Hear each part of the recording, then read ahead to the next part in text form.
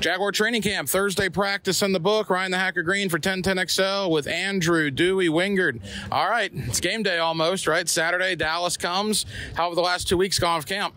It's gone good. Um, you know, it's kind of feels kind of repetitive now being a vet kind of coming into camp and not being as nervous as i used to be kind of just it's the job now and it's fun. It's enjoyable and uh, it's exciting to start thinking about playing a game start to get a little excited a little nervous stuff like that. It's it's all good energy so we're excited to get out there and uh, see what it feels like to play football again. You know i want to talk about your contract extension in a moment but you live the life of an undrafted free agent. You know what these preseason games are like how valuable they are.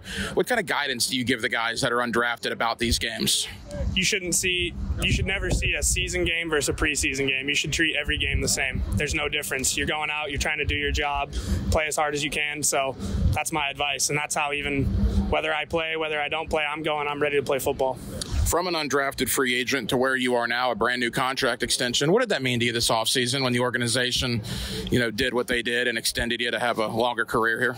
Yeah, first off, I got to thank God. Wouldn't be here without him. Um, and it's just a, you know, a testament to hard work. And um, I remember when I went undrafted, I was like, still had the vision in my mind that I was going to make it, and and uh, I stuck to it, and uh, here I am. I have a four year old at home. He knows two players. He knows Trevor Lawrence and he knows Dewey Wingard. I mean, rock star, whatever verbiage you want to use. Have you ever sat back and like, wow, from an undrafted free agent to a to a fan favorite here in Jacksonville? That's quite a, a rise. It's cool. Um, but at the end of the day, uh, whether it's good, whether it's bad, I was always just me. And being myself is what um, has got me to this point, and it's going to be what continues to get me where I want to go. So, um, if I was to tell your son anything, just be himself. Let's talk about this defense. Year two from Mike Caldwell. What have you seen differently from the coaching staff uh, from last year to this year? Um, really just more communication with each other. Um, obviously, it was our first year together last year. It was Mike's first year as a uh, as a D coordinator in the NFL. So um, there's always things to work out, but I can definitely see that he's come back really confident this year.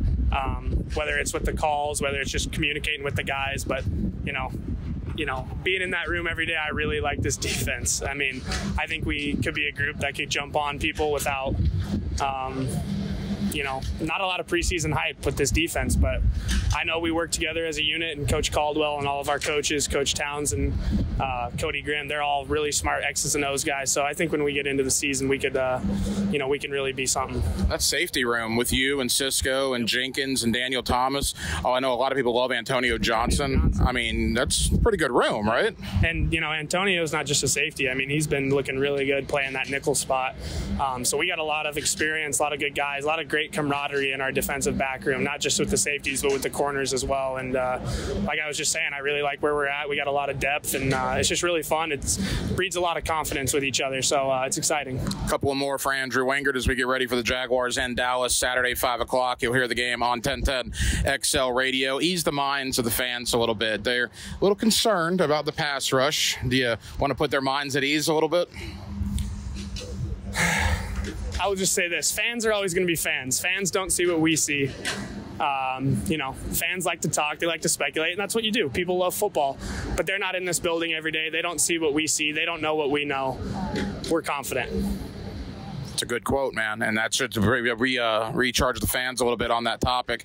Along those lines, too, iron sharpens iron. Every day you're out here with Calvin Ridley and Zay Jones and Christian Kirk and Engram. I mean, you name it, ETN.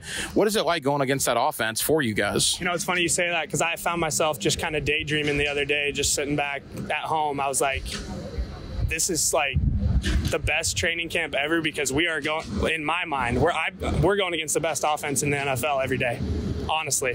Um, and, you know, people obviously could debate me on that with some of these offenses out there in Kansas City and, and Cincinnati. But I'm telling you, when you got to line up against these guys every day, it's truly, like you said, iron sharpens iron. And I think we're getting the best look every day. And I would hope they would say that about us on defense because, you know, we've been balling pretty well in camp. So it's been a really good, you know, kind of ebb and flow between the offense and the defense getting these looks. And, and like you said, when you see those guys lining up and you get used to that speed in practice, it'll only make the game easier.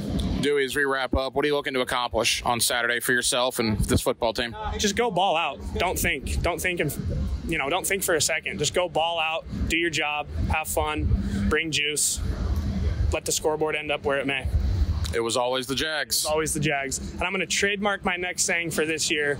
So I'm going to think of it, trademark it, then I'm going to say something crazy and it'll work out. So My four year old says it all the time. Andrew, appreciate it, brother. thank you guys. Appreciate it.